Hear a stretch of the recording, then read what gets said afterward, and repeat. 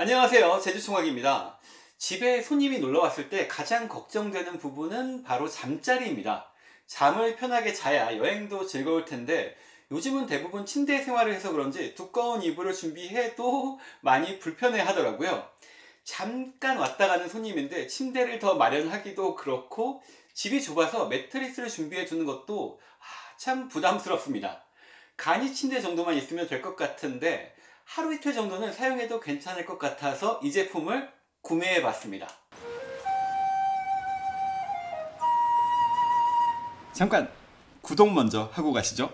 오늘 소개해 드릴 제품은 바로 에어 매트리스입니다. 바람을 넣어서 사용하는 제품인데요. 아웃도어 제품으로 유명한 콜맨 제품이라 품질은 상당히 좋을 것 같습니다. 이 제품의 가장 큰 장점은 부피가 상당히 작다는 겁니다. 제가 구매한 에어 매트리스는 퀸 사이즈인데요. 제품을 다 접으면 이 정도 사이즈밖에 안 됩니다. 보관하기도 가지고 다니기도 너무 쉽죠. 저는 집에서 사용하려고 구매를 했는데 차박이나 캠핑을 갈 때 텐트에서 사용하면 진짜 좋을 것 같습니다. 두 번째 장점은 가격입니다. 요즘 11번가에서 아마존 직구를 아주 편하게 할 수 있는데요. 배송비 없이 5만원이면 구매가 가능합니다. 제가 가장 최근에 봤을 때는 가격이 더 내려가서 4만원 후반이면 구매가 가능하더라고요. 예전에는 배송비 포함해서 10만원이 넘어가는 제품이었는데 4만원 후반이면 진짜 초대박 가성비라고 할 수 있습니다. 가격이 저렴하면 뭐하나 바람을 넣으려면 펌프도 필요하고 펌프로 바람을 넣으면 얼마나 힘든데 이런 생각이 드시죠? 펌프는 전혀 필요가 없습니다. 매트리스를 보면 플라스틱으로 되어 있는 부분이 있는데요. 여기에 있는 뚜껑을 열고 D사이즈 배터리 4개를 넣은 다음 레버를 돌리면 자동으로 바람이 채워집니다. 굳이 힘들게 수동으로 바람을 넣을 필요가 없는 거죠. 넣을 때는 좋은데 빼는 게 더 힘들다고요. 바람을 빼는 것도 자동입니다. 캠핑 용품 가격은 대부분 고가인데 이 가격에 이 정도 성능이면 너무 감사하죠. 그럼 이번에는 얼마나 빠르게 바람이 채워지는지 작동을 한번 해보겠습니다.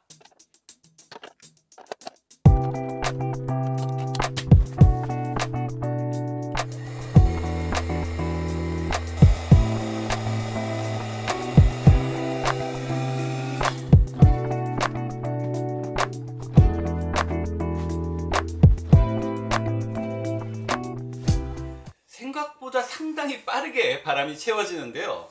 대략 5분 정도면 매트리스 모양이 잡히면서 전체적으로 빵빵하게 바람이 채워집니다. 제가 처음 이 제품을 사용했을 때 뭐야 출력이 약한 거야? 바람이 왜 이렇게 안 들어가? 이거 물침대야? 이랬는데요. 배터리를 잘못 사용해서 작동이 제대로 안 된 거였습니다.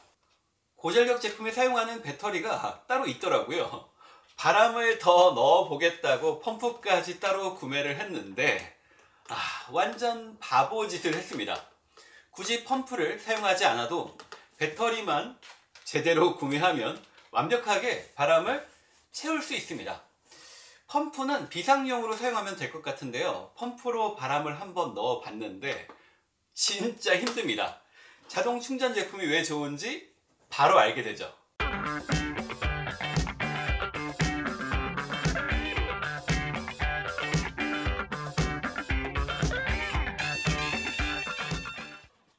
실제로 누워보면 매트리스가 아주 단단해서 그냥 일반 침대에 누워있는 듯한 느낌이 들고요.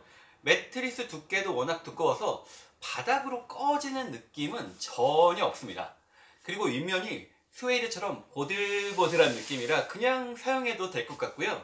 만져보면 소재도 두꺼운 편이라 내구성도 상당히 좋습니다.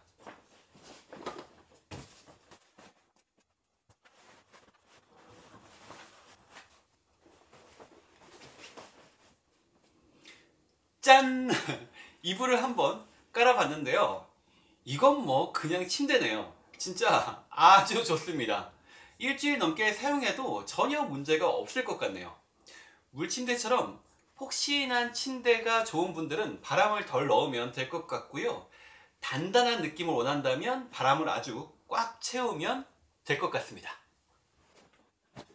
매트리스 옆면을 보면 밸브가 하나 보이는데요. 이건 바람을 수동으로 넣거나 빼는 밸브입니다. 뚜껑을 연다고 바람이 빠지지는 않고요. 밸브를 잡아 당겨야 바람을 넣거나 뺄 수 있습니다. 그런데 배터리만 여유 있게 가지고 다니면 이 밸브는 사용할 일이 1도 없습니다. 혹시 고무 냄새가 너무 강하지 않을까 궁금해하는 분들도 있을 텐데요.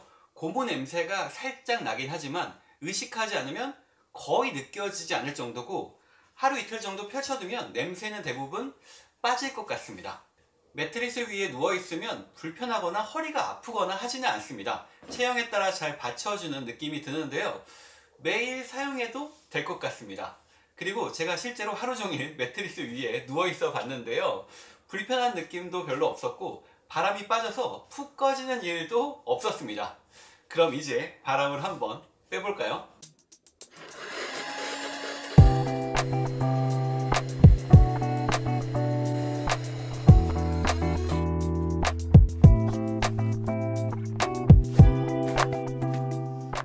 압축이 되는 느낌으로 바람이 빠지는데요. 바람이 빠지는 것도 대략 5분 정도 걸리는 것 같습니다. 자동으로 바람이 빠지기는 하지만 바람을 조금 더 빨리 빼고 싶다면 매트리스 위에서 발로 살짝 밟아주면 됩니다.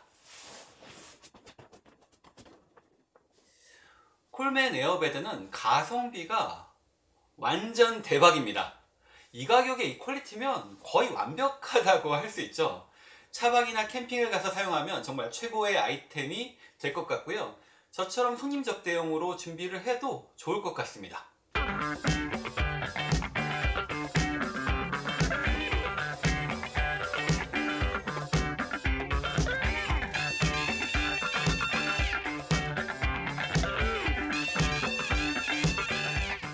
이 제품이 워낙 좋아서 하나 더 구매하려고 사이트에 들어갔는데요. 와, 배송비가 생겼네요. 우주 패스가 있으면 보통 배송비가 없는데 이 제품이 우주 패스 무료 배송에서 빠졌습니다.